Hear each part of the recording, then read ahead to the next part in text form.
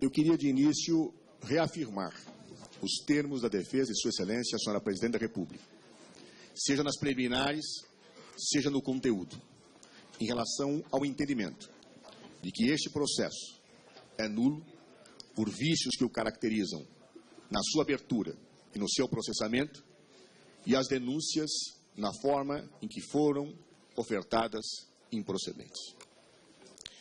As razões da defesa já foram expostas e Vossas Excelências as conhecem bem. Por isso, eu não vou repisá-las. Eu vou utilizar o tempo que tenho para dialogar respeitosamente com Sua Excelência, o relator e o relatório. E há uma razão disso. É que eu tenho absoluta convicção que a leitura isenta e desapaixonada deste relatório é talvez a melhor peça de defesa que Sua Excelência, a Presidente da República, pode ter. As contradições, os equívocos conceituais, o incontido desejo político de chegar ao impeachment ficam borbulhantes na simples leitura desse relatório. Embora Sua Excelência, o relator, parta das mesmas premissas que nós partimos. Ele afirma que no presidencialismo, um presidente não pode ser afastado por mera conveniência política. É fato. Ele afirma que somente diante da configuração de crimes de responsabilidade pode haver o impeachment. É fato. Ele afirma que é necessário, nesta fase da Câmara, um lastro mínimo probatório, essa é a expressão do relator, para que se possa ter a sequência ao processo. Também deixa claro, senhor relator, e eu concordo, que os princípios relativos ao processo legal se aplicam aqui. E também deixa claro que não é no processo de impeachment que se investiga. Investigação se faz em CPI, se faz em inquérito, se faz nas comissões de fiscalização do Congresso. Porque um processo de impeachment condena. Nele não se investiga, se parte de um mínimo de prova pré-constituída. Nenhuma discordância. A discordância, porém, vem na aplicação dessas premissas pelo senhor relator. Ele desatende cada uma dessas premissas a cada passo. E eu quero demonstrar, através de alguns exemplos, o que digo. O primeiro ponto que gostaria de enfocar, senhor presidente, senhor relator, respeitosamente, é a questão do desvio de poder. Nós arguímos que esse processo de impeachment nasce com um pecado original. Nasce com um vício no seu ato de abertura, que foi a má utilização da competência de Sua Excelência, o presidente da Câmara, em desconformidade com a lei, para fazer uma vingança. É a figura clássica do desvio de poder. Os fatos que levaram a isso são notórios. Aliás, não é só a defesa quem disse, senhor relator. Uma revista que acho que não é governista, a revista Veja, neste fim de semana tem um editorial que diz isso. Diz isto. Está claro e indiscutível os fatos que desejaram a abertura desse processo. Nós fizemos a arguição. Sua Excelência, o relator, a rejeitou. Alegando o quê? Ele não diz que não houve ameaça, ele não refuta o argumento, nem poderia, porque é notório. Ele diz que não aceitaria a tese do desvio de poder, porque o fato da presidente ter divergência política com o denunciado não é causa de invalidade. Eu não arguí disputa política, eu não arguí inimizade, porque isso é próprio do parlamento, da democracia. Eu arguí desvio de poder, ilegalidade, vingança. Ou seja, Sua Excelência, o relator respondeu algo que eu não arguí. Mais. Sua Excelência, o relator disse que a questão já está resolvida pelo Supremo Tribunal Federal. Voltou a repetir aqui hoje. Onde? Onde está resolvida? Vamos ver o que diz o senhor relator. Ele disse que na ADPF proposta pelo Partido Comunista do Brasil, essa questão do desvio de poder estaria sendo superada. Por quê?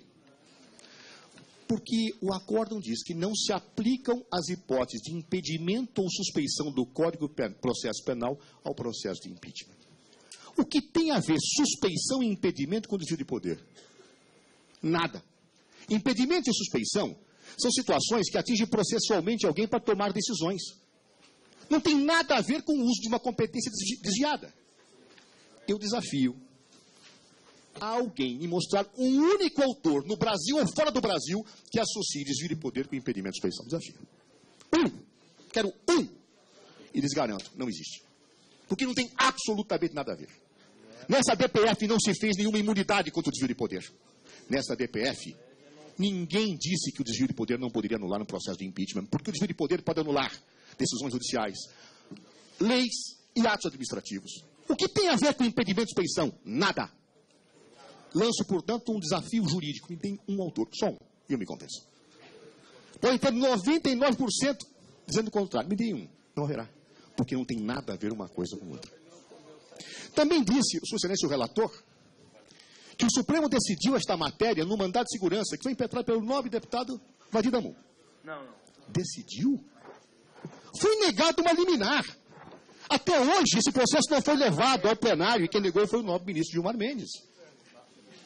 Quantos processos você tem liminares no plenário se, revir, se reverte? Como pode ter sido sepultada essa discussão? Não houve o sepultamento, deputado. Quando ele for a plenário, essa questão será analisada.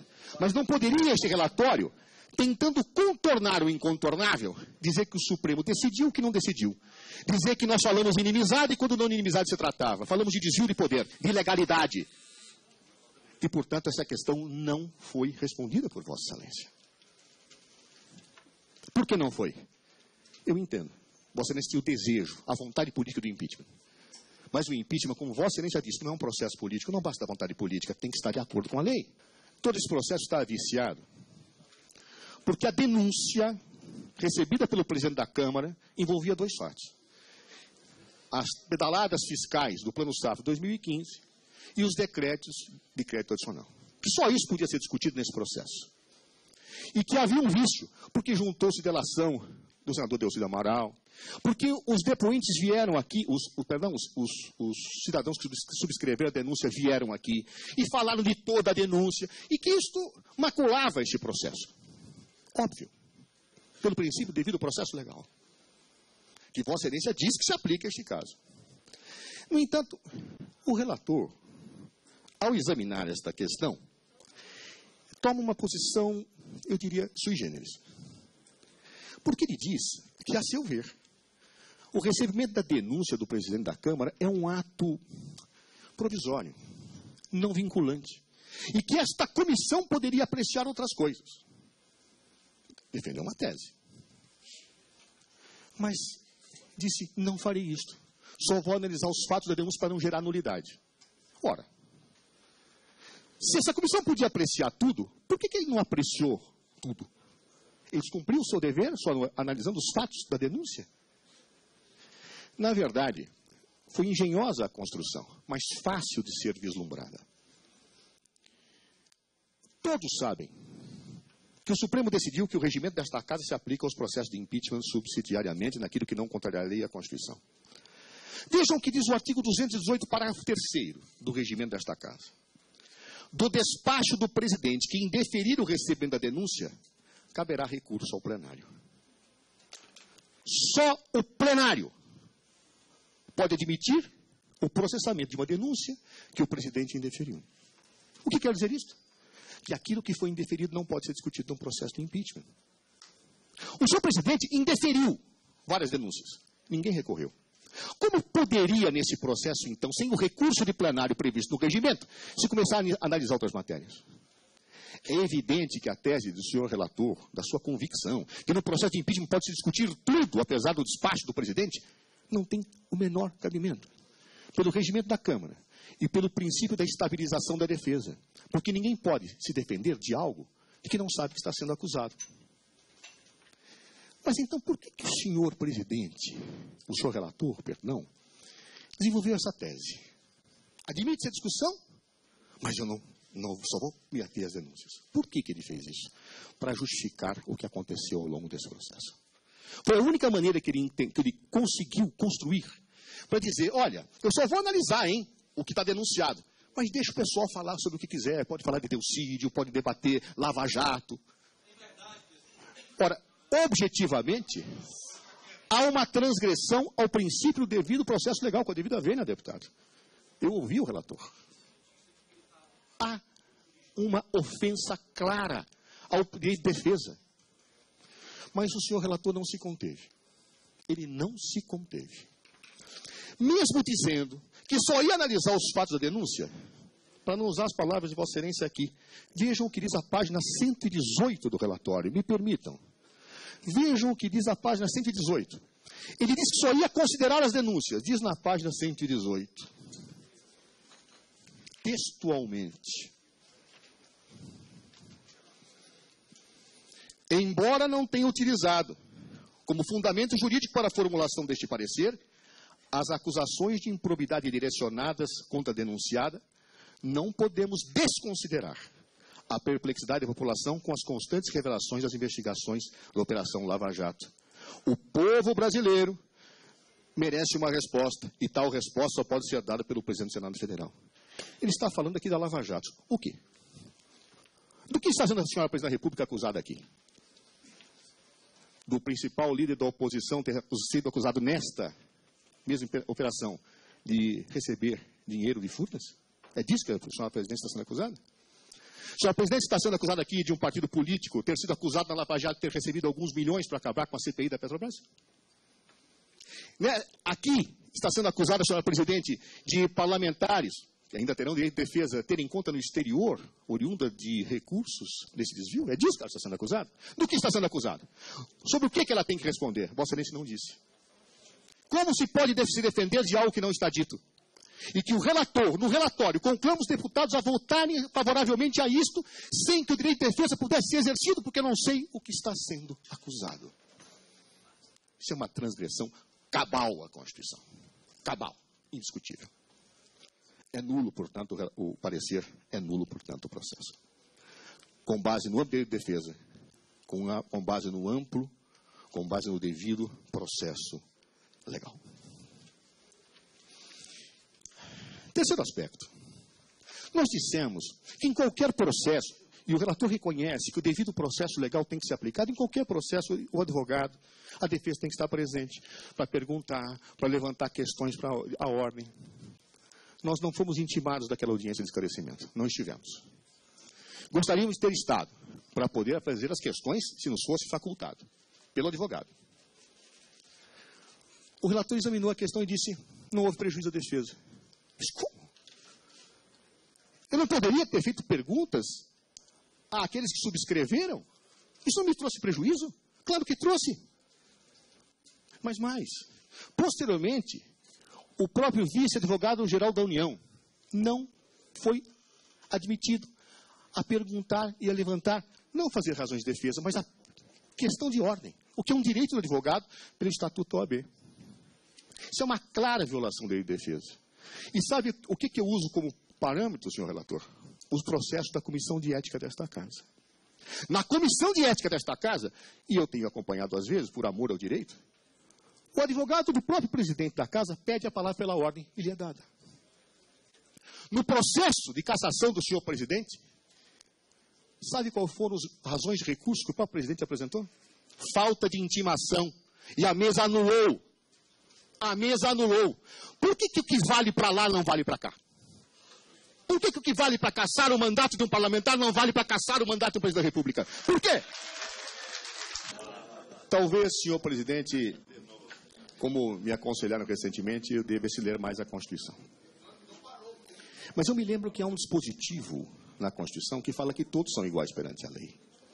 Um processo de cassação de um parlamentar tem que ter a mesma situação de um processo de cassação de um presidente? Eu não peço privilégio, peço igualdade.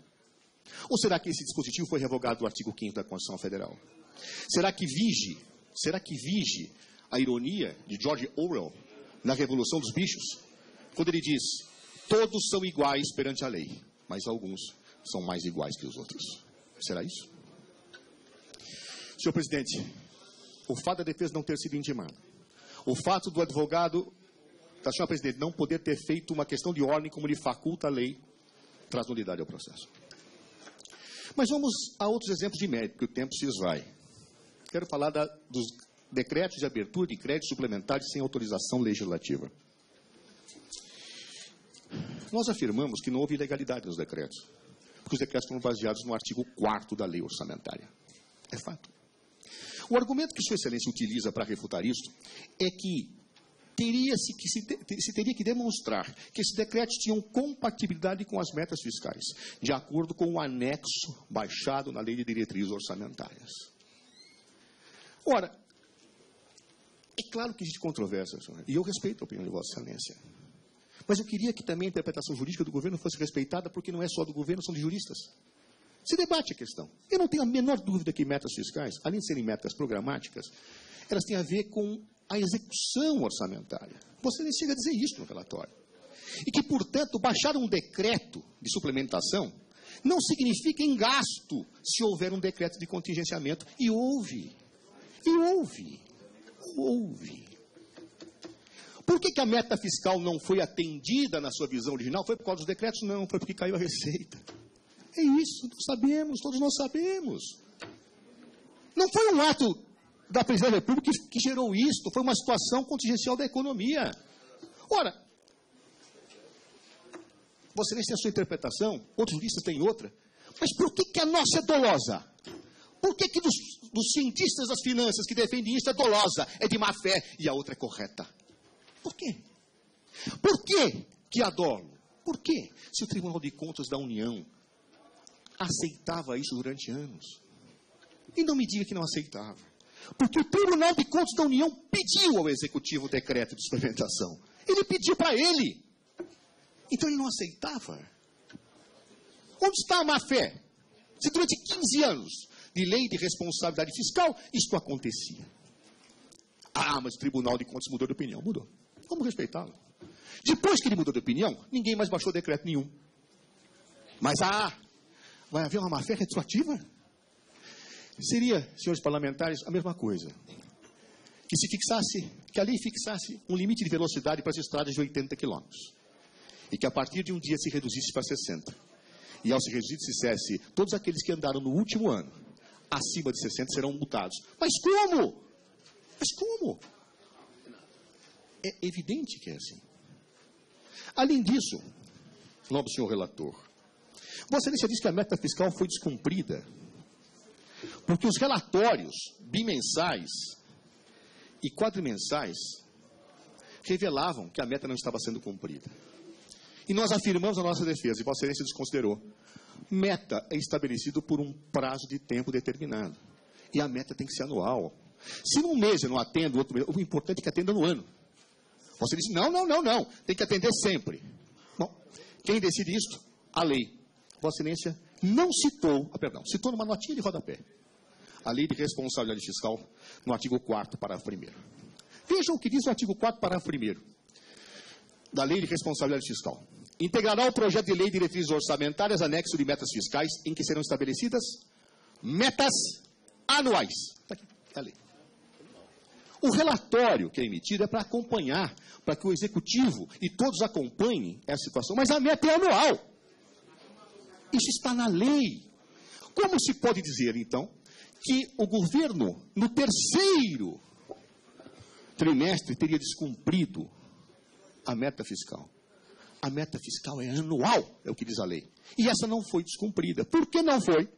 Porque diante daquele relatório que mostrava que a queda de receitas ocorria, todos os contingenciamentos foram feitos e não havia como contingenciar mais despesas obrigatórias. Então, o que, que o governo fez? Encaminhou ao Congresso Nacional um projeto de lei que permitia alterar por força da nova realidade econômica. Isso já havia sido aceito pelo Tribunal de Contas da União. Em 2009, há um acórdão do Tribunal de Contas da União que deixa claro que é saudável, que é correto que se mude as metas fiscais. Ao contrário de outros entes federativos, que descumpriram metas e não tiveram lei, e baixaram decretos como o Estado de São Paulo. O governo propôs, o Congresso aceitou. Não houve, portanto, no momento em que a meta deveria ser qualificada, o descumprimento. Onde está a má-fé? Onde está o dólar? Mas ainda, se me permite, senhor deputado, eu diria que me parece estranho a tese de que a lei não teria convalidado. Primeiro, porque não havia invalidade, a meta é anual. Mas vamos imaginar que você tivesse razão, que a meta tem que ser cumprida mês a mês. A lei nova teria convalidado o passado. Você diz, não, não é possível convalidação. Nobre deputado relator, a convalidação é um instituto de direito administrativo consagrado por todos os povos. Mas se você não quiser falar de seus direitos, fale da lei. A lei federal diz que a convalidação é possível. Leia, Vossa Excelência, a Lei 9.784 de 99, a Lei de Procedimentos Administrativos.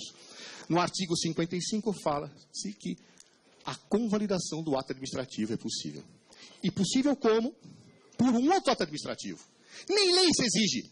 A convalidação é feita por um ato administrativo, e no caso foi a lei que convalidou. Se um ato administrativo pode convalidar outro, a lei, que é instituto maior, não pode. Quem disse que a lei não pode convalidar? Cometeu esta casa e o Senado abuso de poder, então, alterar a lei de metas? Não. Cumpriu com aquilo que é devido. Onde está a má-fé? Onde se coloca a má-fé? E aí, quero chamar a atenção para as duas questões. Nós tínhamos dito que os decretos tinham sido aparados em pareceres por mais de 20 órgãos. E que a jurisprudência é pacífica, que quando há pareceres, não há má fé de quem é orientado por pareceres técnicos. Pacífica, citei, citei na defesa. Vossa Excelência esqueceu essa parte. É um direito de Vossa Excelência esquecer o que bem deseja, mas está lá, registrado. Há 15 anos, isto sempre foi admitido. Nunca foi impugnado. Passou a ser a partir de um certo momento. Dissemos que outros poderes, como o Poder Judiciário, através do TSE e do Justiça do Trabalho, pediram, e o próprio TCU pediu. O próprio TCU pediu. Portanto, era uma prática recorrente. Até que o Tribunal de Contas da União viesse a dizer não. Mudou o entendimento, acolheu a interpretação de Vossa Excelência. A interpretação que nós defendemos e que os governos sempre defenderam há 15 anos, governo FHC, governo Lula, foi ignorada. Passamos a respeitar. Muito bem. Vossa Excelência mesmo assim diz que a presidente da República agiu com má fé. Apesar dos pareceres técnicos, apesar de ter uma mudança de jurisprudência, apesar de tudo. De onde Vossa Excelência tira que houve má fé? Pasmem, senhores deputados e senhoras deputadas. O relator diz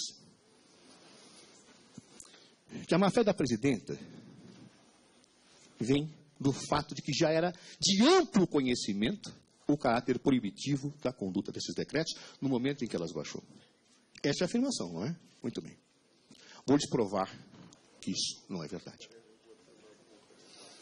Os decretos foram baixados em 27 de julho de 2015 e em 7 de outubro de 2015. Em 17 de junho de 2015, portanto, mais de um mês antes, houve um parecer do Tribunal de Contas do ministro Augusto Nardes um parecer inicial sobre as contas. Neste parecer, de 600 páginas, não se fala dos decretos. Não se fala. Peguem o parecer. Não há menção aos decretos. Por quê? Porque essa discussão não estava colocada, não era pública. Não existia. Depois que os decretos foram baixados, senhor relator, o tribunal o Ministério Público do Tribunal de Contas levantou a questão, depois que os decretos foram baixados. Suscitou-se a discussão. E daí, nós tivemos a decisão em 7 de outubro, depois que os decretos foram baixados. Que discussão pública é essa que Vossa Excelência afirma que existia? E de onde tira a má-fé da Presidência da República? Que discussão pública era esta? Este é um erro de fato do relatório um erro de fato. Me demonstrem que essa discussão pública existia antes, não existia. Mas o senhor relator, o relator tira de uma discussão pública que não ocorreu a má-fé da senhora presidente da República. Mas, o senhor relator aduz um outro argumento para dizer que havia má-fé. Disse, o Tribunal de Contas da União não mudou de opinião. Não? Ele diz que não. Por que, que ele diz que não? porque nunca tinha apreciado essa matéria antes. Então, como ele não tinha apreciado essa matéria antes, ele não mudou de opinião. Senhor relator, o Tribunal de Contas da União aprovou as contas anteriores. Quem aprova contas e nem faz ressalvas diz que aquilo é regular. Esse entendimento era pacífico. O Tribunal de Contas, depois do relatório preliminar das contas de 2014, suscita a questão, se debate, e ele julgou. E a partir daí o governo não fez mais nada. Inclusive devolveu para o próprio TCU o decreto que o TCU tinha pedido. A prova de que o TCU não tinha essa opinião é que o TCU pediu o decreto para ele. Onde está a má-fé da presidente da República que qualificaria o crime de responsabilidade? Ou seja, Vossa Excelência parte do pressuposto de que a interpretação jurídica de vários juristas, dos órgãos do governo, é de má-fé. A outra é a verdadeira. Parte do pressuposto que entre 15 anos se fez errado. E que a presidenta sabia que estava errado, porque havia um debate público que nunca houve. Não há mínimo de prova. Fala, Vossa Excelência. Mínimo de prova da má-fé da senhora Presidente da República. Mínimo.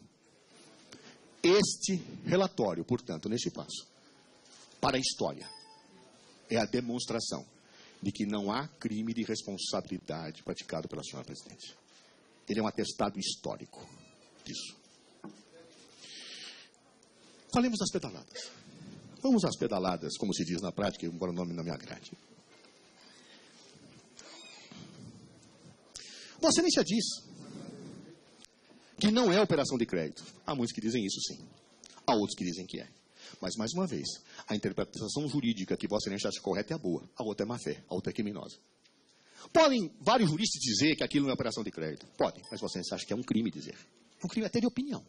Porque quem induz à prática de um crime de responsabilidade, fazendo uma interpretação leviana, criminoso também é. E Vossa Excelência, com isso, afirma que todos os pareceristas, todos os professores da universidade que dizem que isso não é operação de crédito também são criminosos, como a senhora Presidente da República.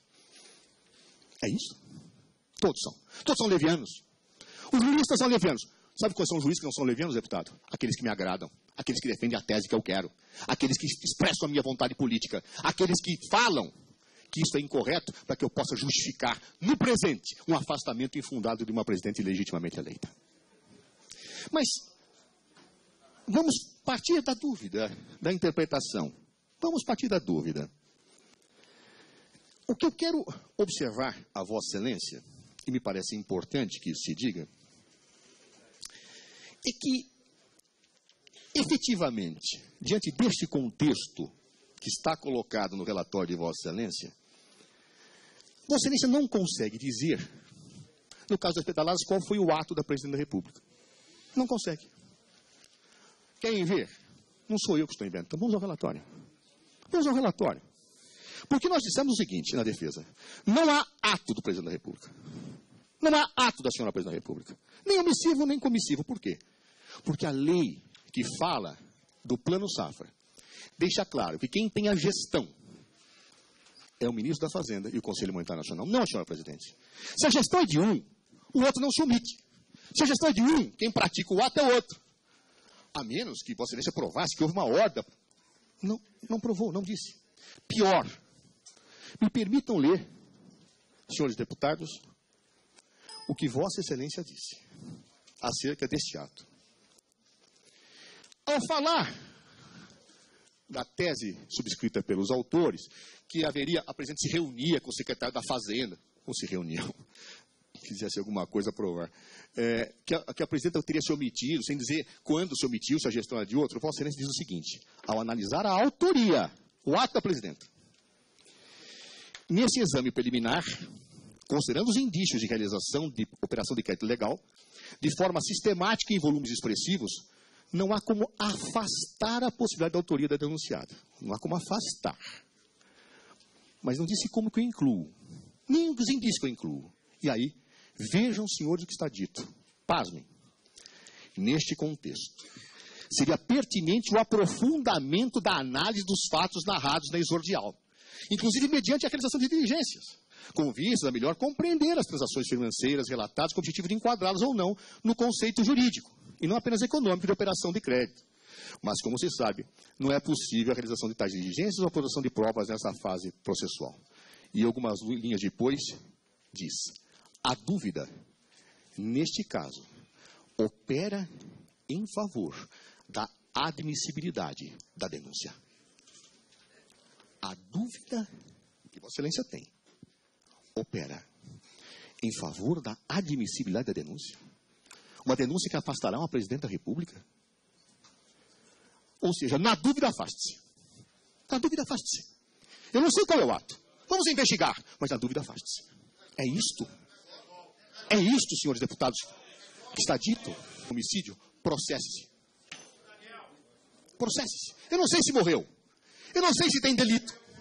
Mas processo. Morreu! Presidente, Senhores deputados. presidente, a verdade dói, né? Eu vi, eu Sabem vi. que é um Faltam- golpe e não suportam ouvir, Faltam. presidente. Deputado Henrique Fontana, por Sabem que é um golpe e não suportam ouvir Para as verdades tempo, da defesa. Fontana, por favor. Essa é que é a verdade. O senhor- que é um golpe e não da É só provocação, Eu devo ter da política.